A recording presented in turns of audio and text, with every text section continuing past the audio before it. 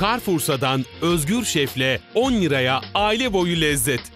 Füme etli çok şahane bir salata yapacağız. Malzemelerimiz fazla değil. Akdeniz yeşilliğimiz var. Birkaç dilim füme etimiz var. Labne peyniri. Biraz üstüne kıtır olsun diye patates çipsi kullanacağım. Biraz sarımsak ve zeytinyağımız var. Önce sosumuzu yapalım. Sarımsağımızı eziyoruz. Karıştırma kabına alıyorum. Labnemizi içerisine koyuyoruz.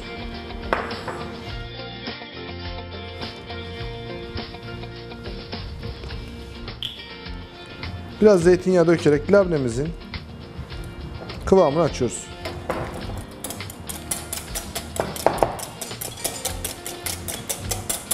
Aroma ve lezzet katması için biraz kekik koyacağım.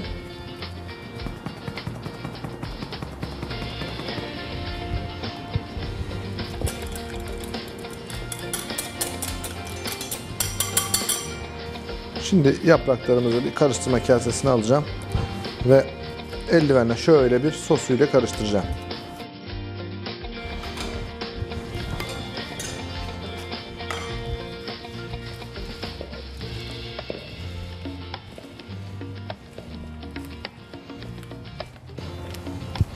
Yapraklarımız sosu iyice çektikten sonra bir servis tabağına alalım.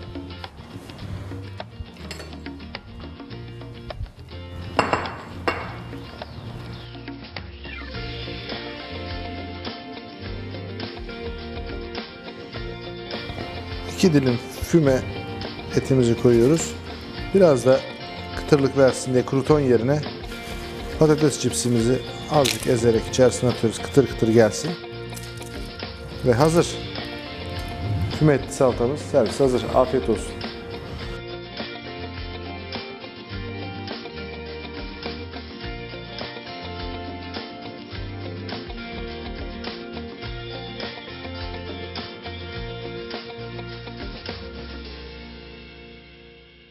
Hesaplı lezzetler ve yeni tarifler için bizi takip etmeye devam edin.